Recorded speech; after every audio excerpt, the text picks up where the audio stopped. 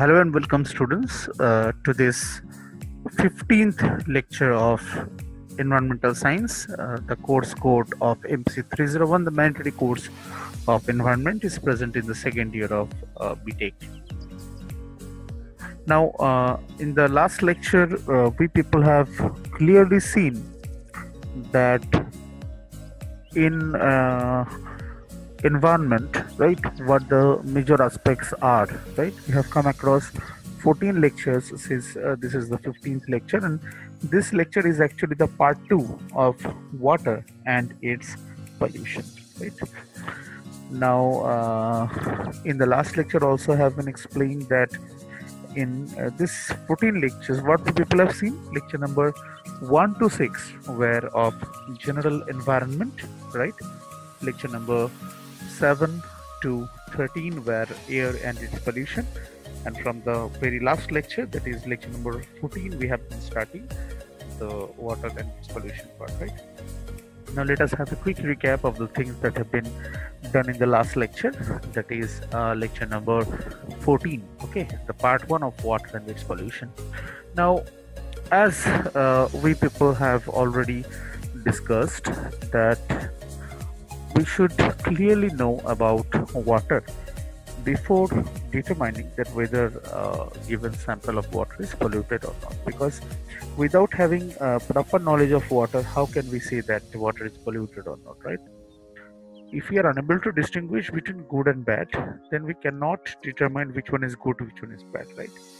So it's very important that first we should see which one is good what is the actual parameter we should follow then only we can understand what changes in parameter have occurred or what uh, changes in quality has occurred whether the quality has been deteriorated or the quality has been enhanced or whatever has been happened. In order to know that we should clearly see and we should have clear knowledge about the uh, quality of water okay? About the parameters that determines the quality of water.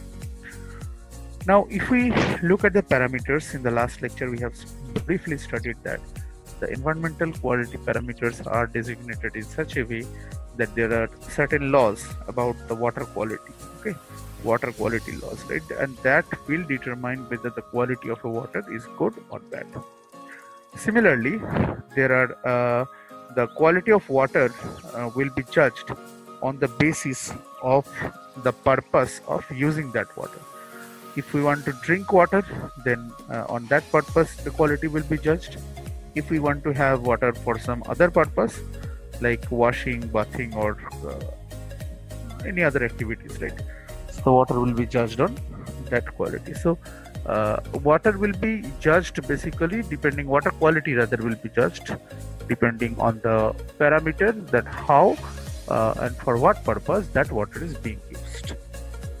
In addition water is the place of many living organisms especially fishes right aquatic organisms aquatic plants. So basically whenever considering the water quality we should think about them also. We should see that uh, the water that we are discussing is uh, of uh, good quality for fishes or aquatic animals or it is not comfortable for them right?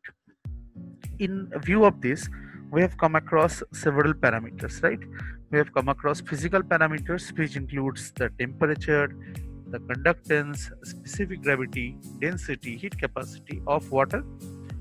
After that we have seen the chemical parameters which uh, uh, sees that whether the water is acidic or basic what is the ph of water and several other chemical factors just like the water is hard or not uh, what is the alkalinity of water what is the salinity of water that we have seen and further we have seen that uh, what are the biological components or the biological parameters uh, to be tested that is uh, different by microorganisms right that are merely present in water okay?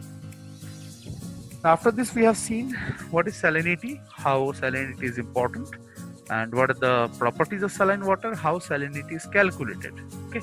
Because we know that majority of the water bodies present in the earth is saline okay? So we need to check that right now in this particular lecture we will see that what uh, BOD and COD is, right? So in order to find out that what are the lecture highlights, let us go into the details of this particular lecture, okay?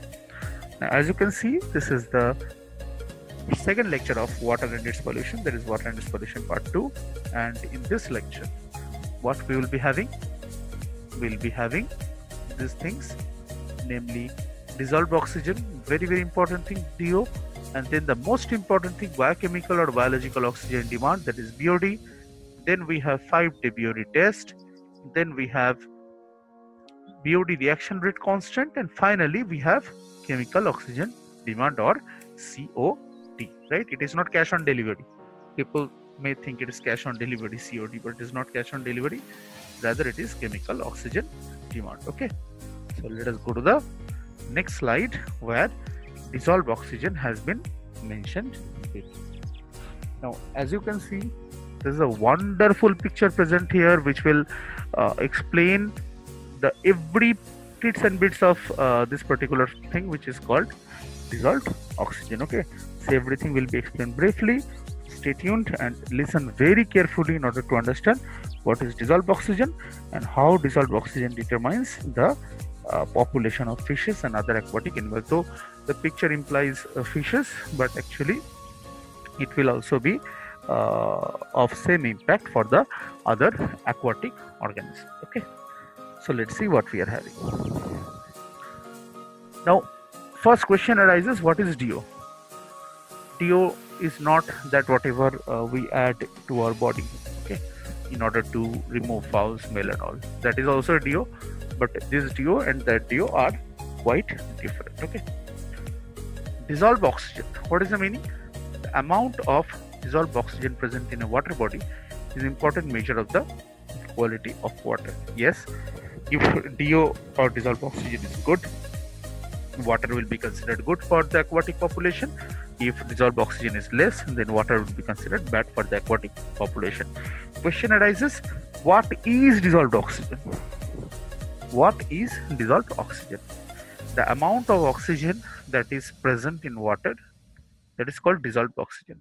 But this particular oxygen actually is contained inside water right and can be measured by several methods okay?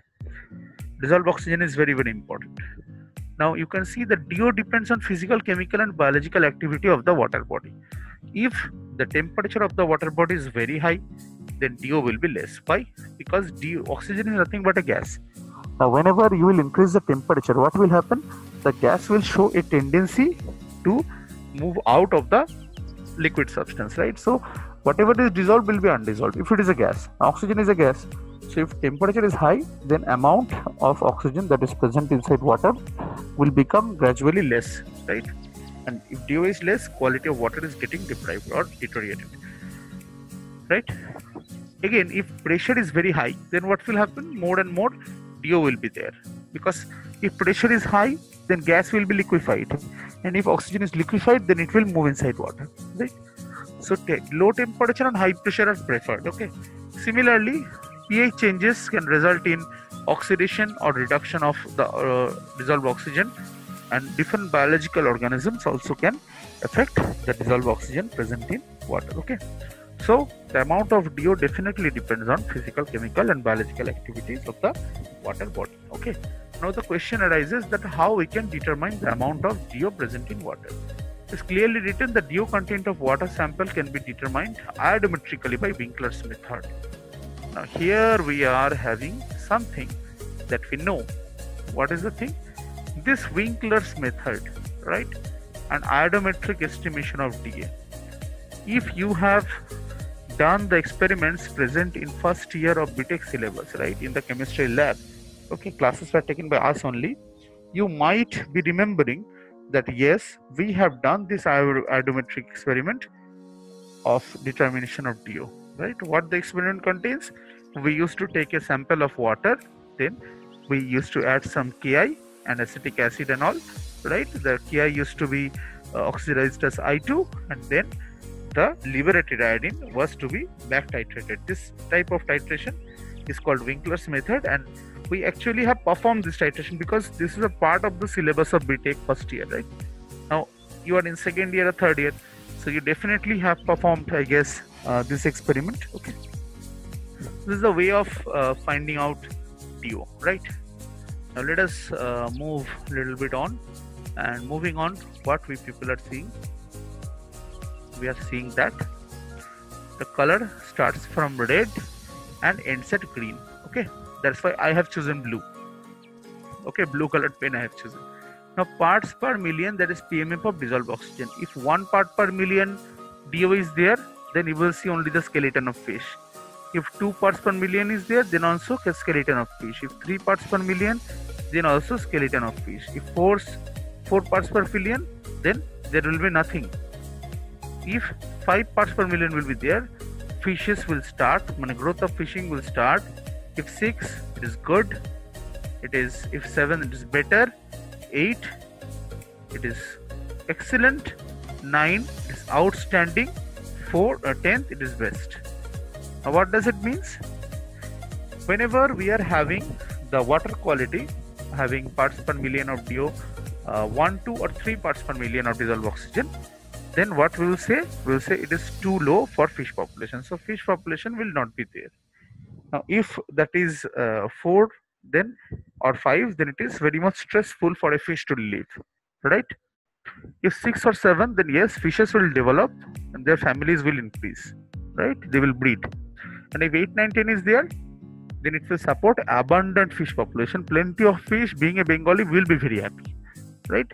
So the amount of fishes directly depends on the amount of do present in water. Now one more thing is there you should need to know that uh, this is not only about fishes right? It is all about all aquatic animals. Now after uh, the topic do we should see what uh, this particular BOD means. Okay, because BOD is uh, the next topic that people are having. And remember, BOD is the most important topic of the total water pollution part.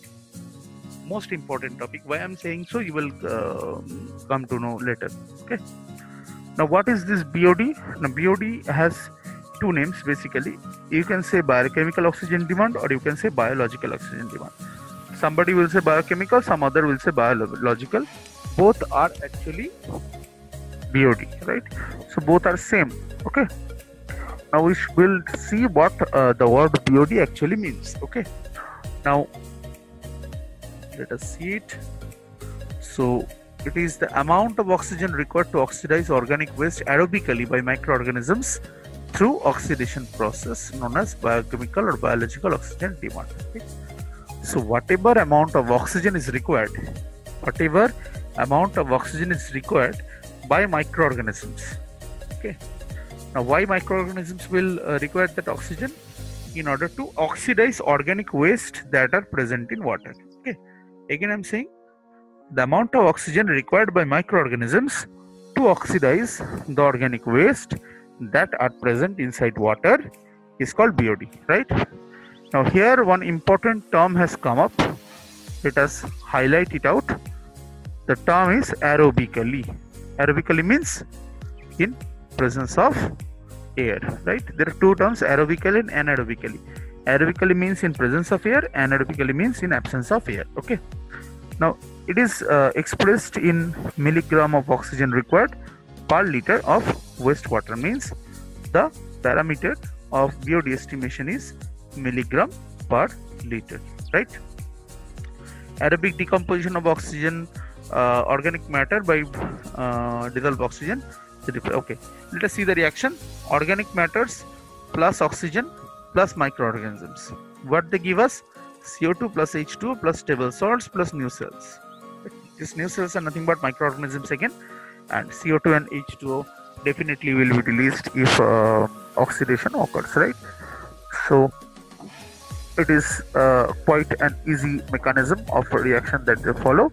And it is written the aerobic decomposition products are non-objectionable. Means means this particular products that are being formed that is CO2 plus H2O plus stable salts plus new cells whatever products are being formed here they do not create any harm to the environment because these are natural substances okay?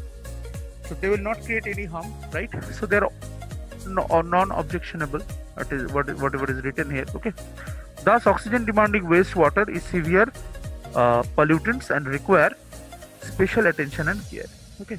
This BOD test is very important and essential. So oxygen demanding waste right it requires attention and care and BOD test is very much important for us. Now BOD test is important for us not only for uh, the quality of water but also for the exam right? I was joking.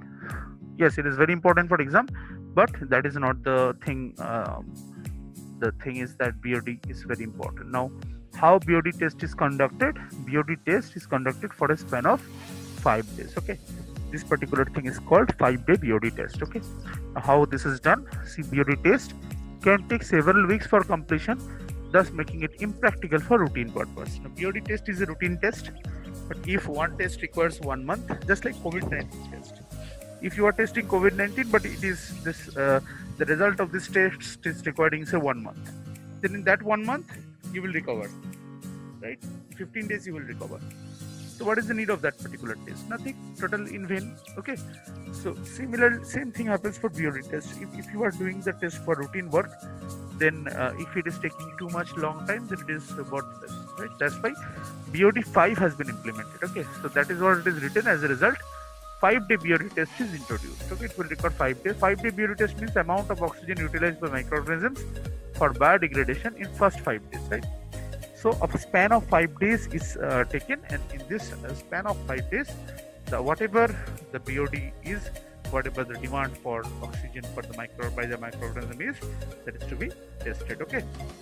Now precautions should be taken during the experiment okay? Let us see what precautions are taken option a number a is the stopper of the bottle must be fixed properly so that replenished do by biodegradation is not filled up by oxygen from air. Yes restriction of entrance of oxygen should be there.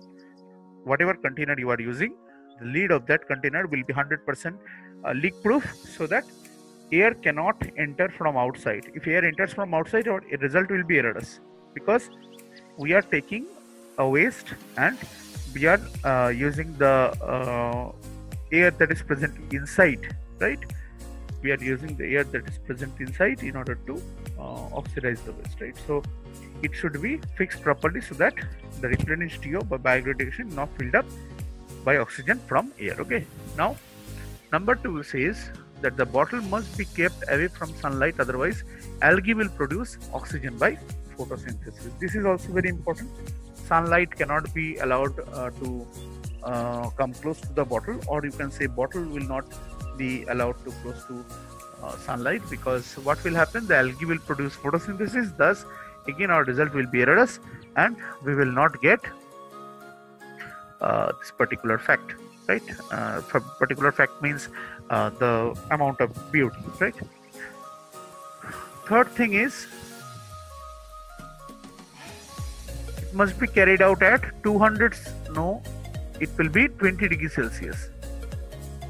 20 degree celsius right? So we have to correct this to should be 20 degree celsius instead okay? So it should be carried out at 20 degree celsius for its standardization and as saturated value of DO at 20 degrees 9 gram per liter. So how BOD can be calculated this is the formula. Let us mark the formula. Okay. This is our formula of BOD right? What the formula is? It is saying let us beautify it a bit right? Okay. So what the formula is saying? It is saying that BOD5 is equal to DOI minus DO5 by DO. DOI means initial DO. DO5 means whatever uh, DO has been, uh, whatever DO is left after 5 days and F is the dilution fraction. Okay, it is written clearly initial DO considered or DO after 5 days and this is a dilution fraction, right? Now this formula is very very important for us. So we have to remember this formula very well. Okay. Next what we are having. Now this formula is elaborated in this way that F is equal to volume of wastewater divided by total volume of wastewater, right? Now, a saturated uh, BOD bottle of 300 ml thus contains F equals to volume of wastewater by total volume of wastewater. Now, uh, this total volume of wastewater is nothing but 300 ml for a 300 ml bottle. Okay. Now, in our calculation for BOD 5, we have assumed that the water used for dilution has no BOD of its own, right? We have used BOD free water. Okay. In order to avoid confusion, we have used that. It is only possible if we use a bottle distilled, boiled distilled water and keep it airtight prior to addition. If, if the distilled water is boiled, then what will happen? Whatever DO has been present inside the water, that will be removed, right? So it is it is 100% BOD free right? That's why uh, if we are using this, we can assume that there is no BOD of its own. The water is having no BOD. If it is not so, then we must seed the water for dilution with microorganisms so that there is sufficient bacterial population to carry out biodegradation. So in such case, actual BOD of wastewater will be BOD of mixed sample minus BOD of water for dilution. This is very very important. If you are using boiled distilled water, then it is okay. Otherwise, if you are using not using boiled distilled water, then what we need to do? We need to seed the water for dilution so that sufficient bacterial growth will be there, right? And in that in such a case, the formula will little bit alter and the formula will be like this that BOD of mixed sample minus BOD of water for dilution okay now to carry out such an experiment two bottles of BOD should be taken one should be seeded another should be uh, unseeded right that is called blank okay and BOD of this particular water if we see it the formula that will be used is this one right BODW is equal to BOD uh, DOI minus DO5, the previous formula minus BI minus B5. Now, what is BI and B5? BI is initial D, DO of the seeded solution, and B5 is the solution after 5 days. Okay, 1 minus F, F is dilution factor that we people already know, right? Okay, and DO of 5 and DOI has their usual significance. Okay, let us go to the next slide. Now, calculation of BOD. How BOD is calculated. Now, what we are having here, see, normal BOD5 is equal to D1 minus D2 by uh, F. If we know that what it is a, okay, it is a decimal volumetric fraction of sample use. D2 is sample after 5 days and D1 is initial. So, basically, DI and D5 has now become D1 and D2. If 100 ml of sample are diluted to 300 ml, then F is 0.33. Note that there is no if no dilution is necessary. F is 1 and the BOD is determined by D1 and D5. Right. So if there is no dilution, no need to take F. If there is dilution, we need to take F. Okay. If more than one dilution of the sample results in residual DO, then DO depletion for at least 2 milligram per liter. There is no evidence of toxicity at higher sample concentration or the existence of an obvious anomaly. Average results that are acceptable in range right okay so this was all about the calculation of uh, BOD let us go to some other thing BOD reaction rate constants see basically the reactions that occur in BOD bottle as well as streams are very complicated okay first order half order second order now here we need to know about chemical kinetics I think you remembered chemical kinetics okay? zero order, first order, second order, half order that we people have studied, but I think you people have forgotten. Okay. Now, no need to remember that again. Just we should remember that y is equal to L1 minus e to the power 1. E to, this will be e to the power minus kt. Okay. This is the exponential factor actually. It has come down, but this particular uh, fraction it will come on the power of e. Okay. Right. Where y is the BOD consumed, L is ultimate first stage, k is as usual the rate constant t is time under such condition this is the formula i think you re remember this particular formula. It's a very common formula for uh, chemical kinetics right? Okay.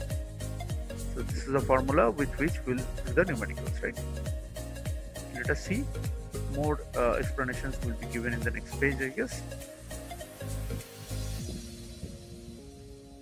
Now, what is chemical oxygen demand? This is another uh, very important uh, topic. Now, there are two terms basically. One is bod another is cod right? Again i'm saying cod doesn't means cash on delivery. It means chemical oxygen demand okay? Let us see what cod is saying. See during cod determination total organic content of the water is oxidized by dichromate. It is also called basically why, why it is called chemical oxygen demand? Because here chemicals are used for oxidation right here basically chemicals are used for oxidation okay? Now in this test what we are doing we use chromate dichromate solution. In this test we determine the oxygen requirement of wastewater. Strong oxidizing agent like potassium dichromate is used. Now from our knowledge we can say potassium dichromate not only it is used but also sulfuric acid will be used. And yes acidic environment is provided by addition of sulfuric acid. So basically sulfuric acid and potassium dichromate together they form chromic acid H2CrO4 which is very very strong acid okay? Now we have to make the solution reflux right? It is heated to 150 degrees Celsius for 2 hours with silver sulfate as catalyst okay? So when silver sulfate is used the recovery of most organic compounds is greater than 92 percent. So it is very good percentage. COD test measures virtually all oxidizable organic compounds whether biodegradable or not except some aromatic compounds which resist dichromate oxidation see almost there is no compound which can resist from dichromate oxidation which is a very strong oxidizing agent. But uh, apart from these few compounds all the compounds are taken into consideration in COD calculation right? And it's proportional to BOD but uh, for readily assimilable organic matter in dissolved form that is sugars right? So basically it is proportional to BOD but COD is much much better process than BOD because we are not depending on the microorganisms. Rather we are adding strong oxidizing agents which are much much uh, better effective uh, compared to BOD. But BOD is a separate process, COD is another separate process, right? So we cannot compare them directly. But COD process, uh, I think it is better because uh, directly apply chemicals and you did get the accurate result. Okay. Also, we need not wait for five days, ten days, right? Only two hours and few more time is required. Okay. So within a few hours, you can get the result, right? So this was all about the BOD and COD uh, tests, and as you know, this is very very important thing for us. Since uh, this particular uh, studies will give us uh, better idea about what the quality of water is right? Now you have seen how BOD is conducted how BOD test is conducted. Now study it well and if you face any problem it, it may happen that you are facing problem because there are numericals right? So we have discussed the numericals here. If you face any problem just uh, contact me and we will solve it out okay? So see you in the next lecture. Until then stay safe stay healthy. Thank you so much